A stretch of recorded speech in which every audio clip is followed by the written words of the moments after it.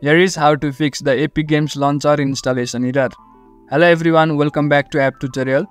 In this video, I'll show you how you can fix the issue if you are having any problems while installing Epic Games Launcher. So let's start. The first thing that you need to do is press Windows plus R key. Then after in the search bar, type R-E-G-E-D-I-T. Now search for it. If it asks for any permission, then simply allow it. After you open this dialog box, go to HKEY local machine and then go to software. Inside software look for Microsoft.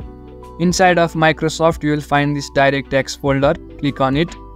Then after you will find this version folder, right click on it and then go to modify. Then you will find 4.09 and other values. Make it to 4.08.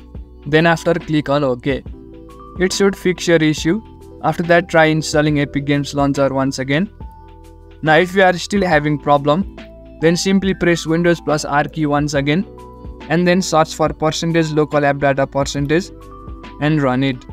Then after locate the Epic Games Launcher folder and delete it completely. After you delete the Epic Games Launcher folder, try reinstalling the launcher from the beginning. It should fix your issue. That's it for the video.